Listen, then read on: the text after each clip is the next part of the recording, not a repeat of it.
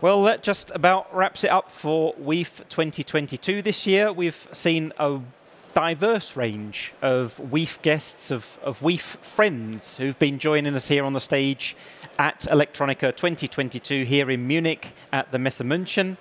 Uh, Johann, I'd like to turn to you. Uh, what's your feedback on, on what you've seen? What, what will you be taking away from WEEF 2022? Before I want to thank everybody who supported us and especially our speakers and, and partners here. It was a, for me personally, it was a great event. My takeaway is a very old uh, message uh, I heard here again. Do good things and tell about. So please do good things with your companies and personally and, and tell us and tell the world and, and, and we will go on with WEEF, with the WEEF project next year, and it's an ongoing process. You uh, saw some of our partners today, and I think everybody stays with us that we have a WEEF 2023. That's, that's sure. Thank exactly. you. Exactly. Super. So our thanks also go to RS Group and to Varta AG for their financial support, and also to the Lente Foundation for producing WEEF. Now, as Johann said, this is not the end of WEEF. This is not even the beginning. This is just part of the continuing operation of bringing us together as an organization, as groups of engineers in the electronics and semiconductor industry to explore and understand how we can behave more ethically and resolve our sustainability challenges.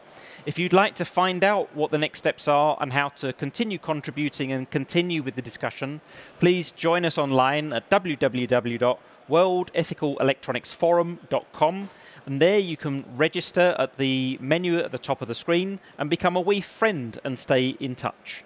We also have our WEEF index. There you can see everybody who's been nominated, including the WEEF award winners from today. We haven't yet reached the 100 mark that we would like to reach by uh, March, April time next year. So feel free to continue nominating people that you feel and organizations that you feel make an impact and make a difference in this area. We'd like to have as many names as possible so as we can really show the world who here are the movers and shakers and making a difference. The WEEF guide and index will be available in digital form and printed form in March, April timeframe next year, and it will be highlighting the best of the industry and the video that we've been recording today and other video snippets from interviews with our partners will be added together to make a documentary so we'd like you to stay in touch, share your ethical and sustainability challenges in order to get those answers.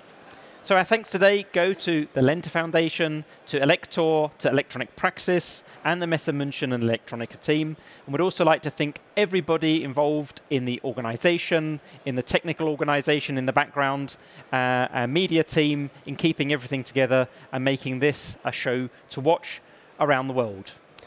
You can join us also at the Elektor booth. That's in Hall B4 in stand 440.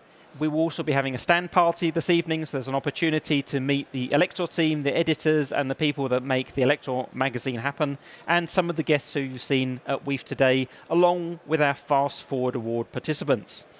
So we leave it there for today. Thank you ever so much for your participation, support, and we look forward to seeing you next year at Productronica for WEEF 2023. Yeah, thank you also to Stuart Cording for this professional moderation. Thank you. You're welcome, thank you. And bye-bye.